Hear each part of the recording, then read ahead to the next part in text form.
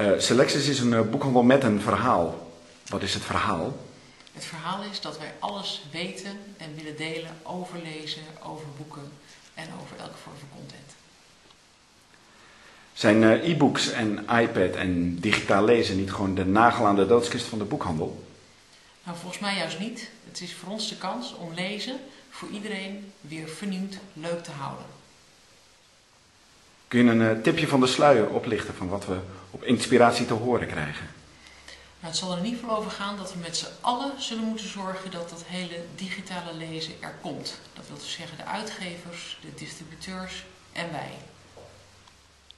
Welke andere spreker op inspiratie lijkt je interessant? In ieder geval uh, heel veel interessante sprekers, maar die eruit springt is David Beckman.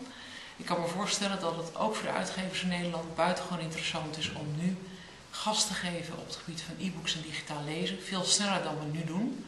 En hij zou daar wel eens interessante informatie over kunnen bieden.